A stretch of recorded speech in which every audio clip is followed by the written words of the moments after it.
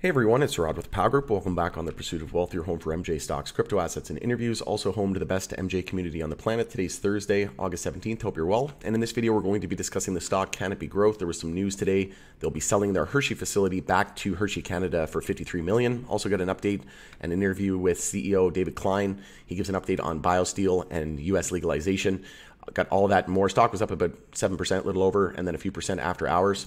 But going to discuss all that more. Before we get to it, though, make sure to smash the like, help support me in the channel. It doesn't cost you anything. If you're new, you can subscribe, tick the bell, you'll be notified on any future videos or when I go live. Also, make sure to follow POW Group on X, which is formerly Twitter. The handle for that is at Group POW. So again, follow at Group POW on X. I'll be using that as my platform of choice going forward. Also, a quick word, word from our sponsor of this video. The company is called My Size. They are a provider of AI driven solutions for fashion and retail that drive revenue growth and reduce costs for its business clients and an omni channel e commerce company. Ticker symbol is MYSZ on the NASDAQ. But again, this isn't financial advice. You can do your own research. This is for entertainment purposes only. And again, I'll never tell you to buy, sell, or hold, but they're looking to disrupt a $38 billion market. So you can check that out if you feel so inclined. If you recall, I did do a video on Canopy Growth.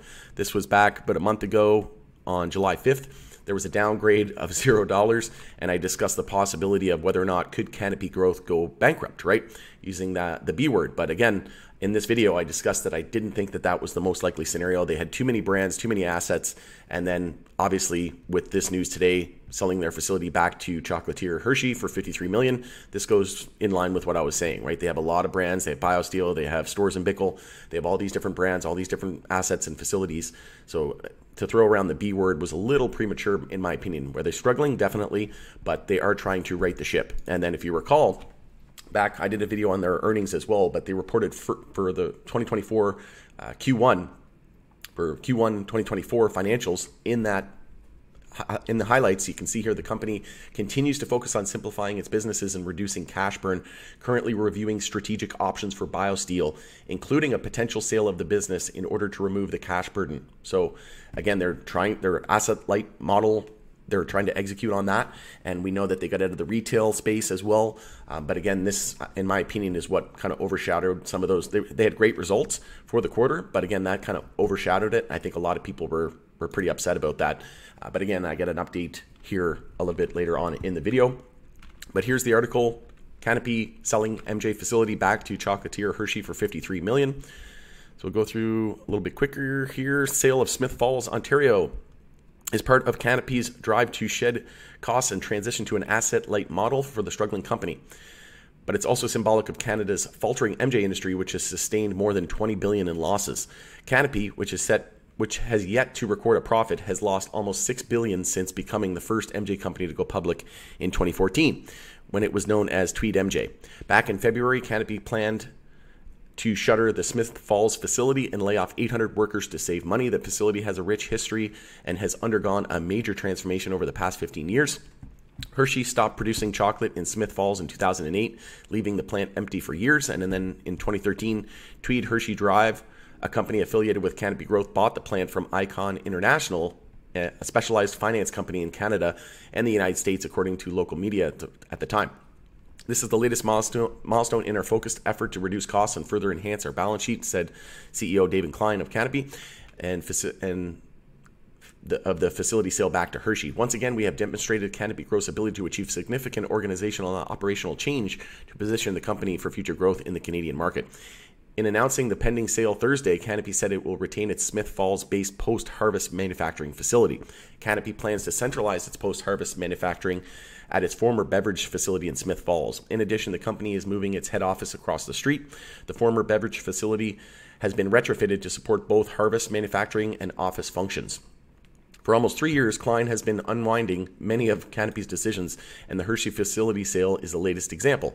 This year alone, Canopy has grossed roughly 155 million from the sale of seven properties, the company said in its release.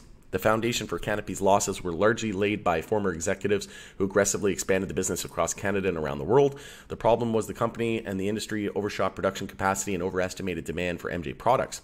In 2017, before adult use MJ was legal, Canada Canada's licensed producers had bankrolled more than enough production capacity to meet demand for recreational MJ.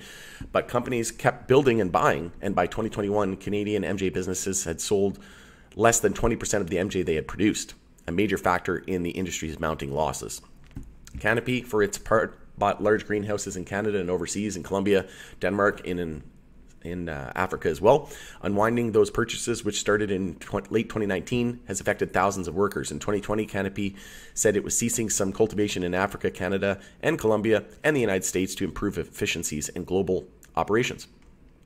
Months later, Canopy shuttered more facilities across Canada to save money, and Canopy also unloaded greenhouses in BC, British Columbia, which it once touted as the largest MJ greenhouses in the world. But again, stock was up a little over 7% today after hours. And I do want to play this video, a couple parts of the video uh, with uh, CEO David Klein but I do want to give an update here. So, this project is a strategic acquisition and is another step in our continuing investment in our supply chain network to enable our leading snacking powerhouse vision, said Todd Scott, a spokesman for Hershey Co., in an email. The facility provides us with the flexibility to support growth across the consumer goods portfolio. It is too premature to discuss potential hiring plans and what the company could produce at that 700,000 square foot facility it sold in 2007, he added. Meanwhile, David Klein, Canopy's chief executive officer, said he was pleased with the deal, which he described as an important sale. This is the latest milestone in our focused effort to reduce costs and further enhance our balance sheet, he said in a statement. Net proceeds of the sale of the Hershey building will be used primarily to pay down Canopy's senior secured credit facility. In Canopy's latest quarter, it recorded almost 42 million net loss compared to a net loss of roughly 2.1 billion a year ago. When Canopy acquired One Hershey Drive, the pot market was in growth mode rather than cutting mode with federal MJ legalization on its way. It purchased the building for 6.6 million, including 923,980 uh, in shares. 923,980 shares from a group of investors, including one-time Canopy Chief Executive Officer Bruce Linton and Guy Saumur Company. As part of as part owner of the facility before the transaction, Bruce Linton received 70,800 of the 94,397,000 shares issued. The shares were subject to a four month lockup period. When the Hershey deal is complete, Canopy will complete post production flower activity across the street from One Hershey Drive at 99 Lawrence Street, where it already has regional distribution center, bottling facility, and beverage capabilities. So I'll play the video here and quick update on BioSteel from David Klein. Is a sports drink and protein powder business, BioSteel. BioSteel delivered huge sales growth, but was also responsible for 60% of the losses this quarter. Let's bring in David Klein, who's the CEO of Canopy Growth. David, thank you so much for being with us. Um, it's hard to maneuver around this thing that is BioSteel. It's delivering such tremendous sales growth, but is, uh, is losing you money. Um, how does that happen? Yeah, so so to to build um, a CPG brand like BioSteel takes investment in cash and investment through our P and L, and so uh, when we when we when we look at our business and we want to be focused on cannabis, uh, we've we've said that we're going to review all of our options to eliminate the drag caused by BioSteel uh, from a cash flow and uh, and an earnings perspective, because our cannabis business, as you mentioned, we you know we've We've uh, restructured the business. We focused on an asset-light model, uh, and it's it's it's working. We're seeing uh, improved performance from a profitability standpoint across our business. Every single one of our business units grew sequentially quarter over quarter. And so that part of our our business is working, and we need to um, stay focused on that as as we go forward. Even as you say it's working, and I'll quote from a report. The analyst says. So there you go. We get an update on that, and again, it, it goes to show that Canopy it's more than just MJ, but they continue to focus their they continue to reiterate their focus is on MJ. But BioSteel being a great brand, it's official partner and hydration partner of the NHL and the NHL Players Association. Um, so we'll see what happens with that. Um, I'm surprised they haven't done any kind of like CPD C, CBD infused uh, with those BioSteel brands, but that's something that could potentially happen in the future, especially once federally permissible in the United States. And speaking of which, he did get an update on that as well. So we'll take a look at that piece of the interview. ear to the ground. I only have 30 seconds left, but any sense on timing of uh, legislation in the United States? No, um, I, I've stopped guessing on that. Um, however, what I would say is with our with our U.S. structure, with brands like Wana and Jetty and TerrAscend and Acreage, um, we're not waiting for uh, legalization, and so you know those brands are continuing to grow while we're wait while the the U.S. government is kind of grinding through regulations and you know, we we announced recently that Wana opened uh, in 45 locations in in Florida. So we're continuing to build our business while we wait. David. So not very optimistic on the U.S. legalization and reform, uh, but again, I think everybody you know is kind of just sick and tired of sitting around and waiting. And again, we're not just companies just aren't just going to sit there and wait for the U.S. to get their ducks in a row, right? They're going to continue to to work on aspects of their business that can drive growth and profitability, but also planning for that inevitable rollout in the U.S. But taking a look at the chart here, like I said, stock was up over seven percent here uh, on the day today, and then a few percent after hours. And we could still see an EMA 12 and 26 bull cross as well. And MJ actually wasn't actually held up pretty good today in face of market weakness. So the broader market was weak today, uh, but looking for potential of an EMA 12 and 26 bull cross on the daily time frame for Canopy, which would mean a lot more upside. And we do have a potential for a weekly trend change here with the low, high, higher, low. So if we hold the low here at 34 cents and break resistance at 53 cents, we'll be back in a, in a weekly uptrend. And then if we zoom out to the monthly time frame, we'll start the monthly bounce at that point. and we are coming off monthly oversold as well. And from February 2021 highs and all time highs down over 99%. So, again, not financial advice, but this looks like, you know, a fairly fairly decent trade if you you know if you're looking to invest you know maybe a thousand bucks five thousand bucks whatever your risk tolerance is i think there is a lot of risk versus reward here um, a lot more reward versus risk here and like i said if we go back to ema 12 here which we've done on Tilray. A lot of names are trending back to their monthly EMA 12. If you take a look at Tilray, it's finding resistance rate at that EMA.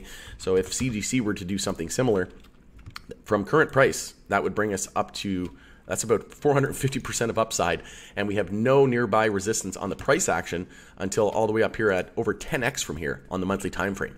So again, I think that Canopy is going to to swim long term, and again, if we just do what Tilray and a lot of names are doing and backtesting their monthly EMA 12, coming off monthly oversold.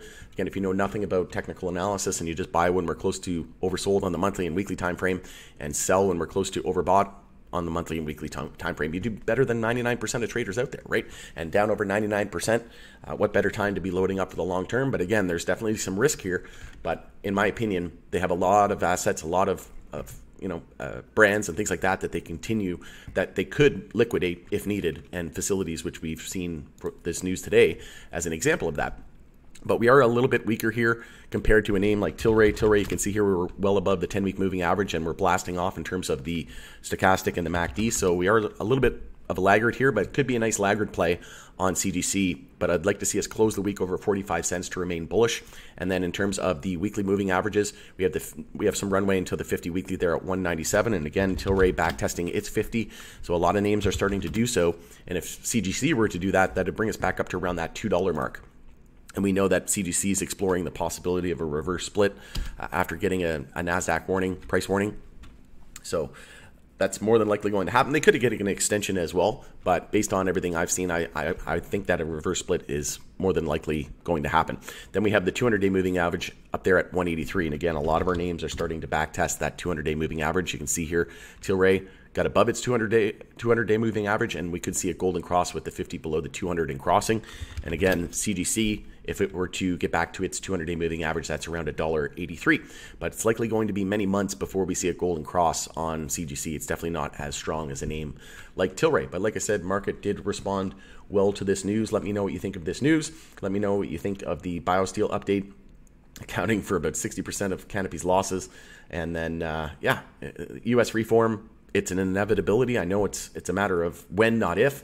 Um, but again, a lot of companies just showing their their frustration with you know the lack of reform in the U.S. and false promises that we got, and we had that huge run up in February 2021 on hopes of U.S. legalization and the Dems taking control of the Senate, but it's just been empty promises, right? So again, companies not waiting on U.S. legalization, but definitely building the brands, building the you know the for the inevitability of that happening, but not relying on it, right? So we have to keep in mind that it, this is this is not you know a sprint. This is a marathon, and we're looking for companies that are going to be here in three, five plus you know ten years from now.